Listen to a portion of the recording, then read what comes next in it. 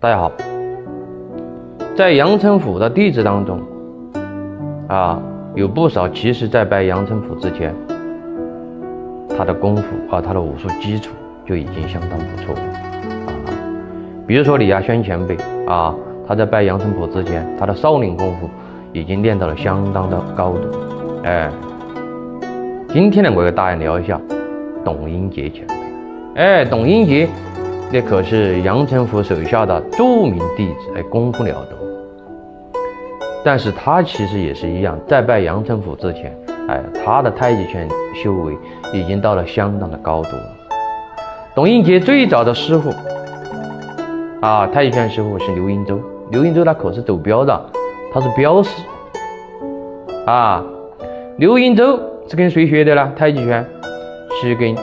杨氏太极拳第三代传人，哎，杨露禅的孙子杨兆林先生学的，哎，那么后来刘英洲又把董英杰推荐给了自己的爱徒李香远，哎，让他跟李香远继续修炼太极拳。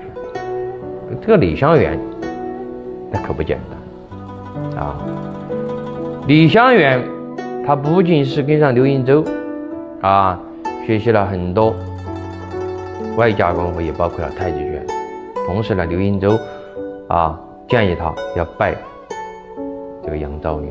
哎，所以这个李香远他的太极功夫啊也有三位老师：刘英洲、杨兆林。哎，杨兆林去世之后啊，他又拜啊武氏。太极拳的前辈郝维珍啊，练习武术太极拳，所以李香远的功夫很高啊。后来自己的师傅哎，把董英杰推荐给自己之后，他是悉心传授，哎，把自己的太太极功夫一点都不保守，传授给董英杰啊。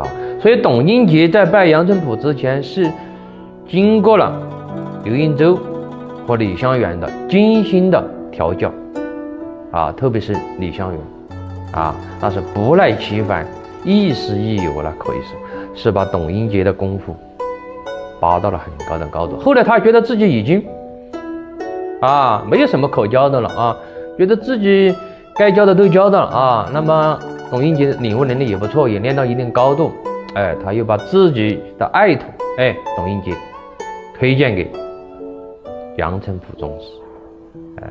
所以董董英杰到了杨澄甫这里，那就是锦上添花了啊！所以董英杰的功夫，他有三个脉络。哎，第一个是杨兆林这边的杨氏太极拳，第二个是郝维珍这边的武氏太极拳，最后一个是。阳澄湖这边的杨氏太极拳，哎，所以他身上集合了很多师傅的这个传承。